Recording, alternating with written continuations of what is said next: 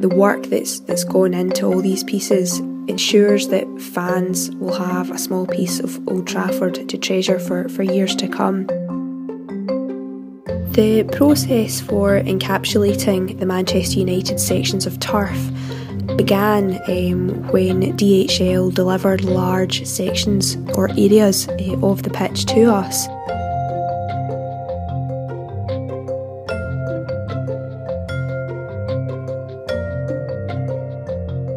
Each piece of turf is hand cut before being put into a mould, whereby it's then poured up uh, with acrylic and put into our ovens to essentially bake and cure.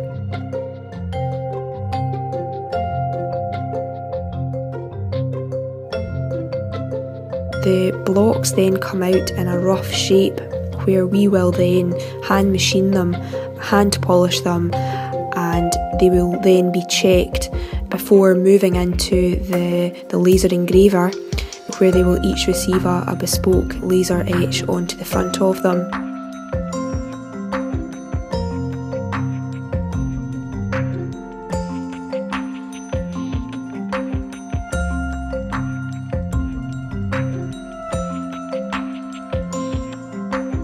They then move forward into our dispatch department where they are individually inspected, boxed up, uh, ready for their, their DHL collection, where they are then going to be shipped to fans around the world.